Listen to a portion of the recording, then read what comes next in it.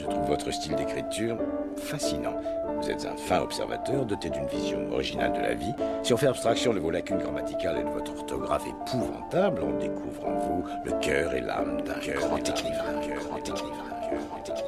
C'est vrai? Tout à fait.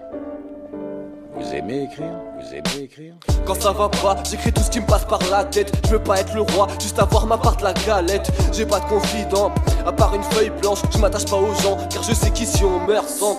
J'écris sans cesse, c'est existentiel. J'ai tracé mon avenir, mais l'état veut que je dévie dans le cercle.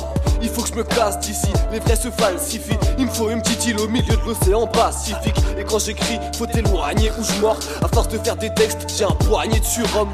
Je gratte jusqu'à ce que la mine s'enflamme. Deviens rapidement fan.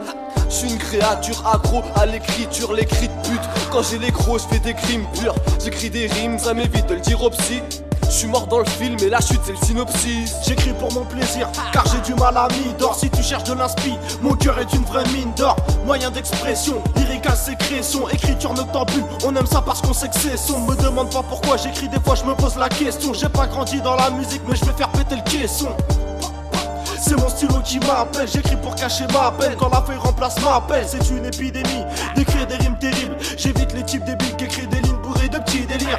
Cataclique, fais de son mieux pour avancer. Je gratte avec le cœur, dis pas le contraire, tu vas m'offenser. Mais putain ça me soulage, parce que le micro m'évade. L'écriture c'est la mode, mais faut savoir en choper les vagues. Arrête de croire cousin, ton stylo te malmène. Tu pourrais prendre le mien niveaux flots, non t'auras pas le même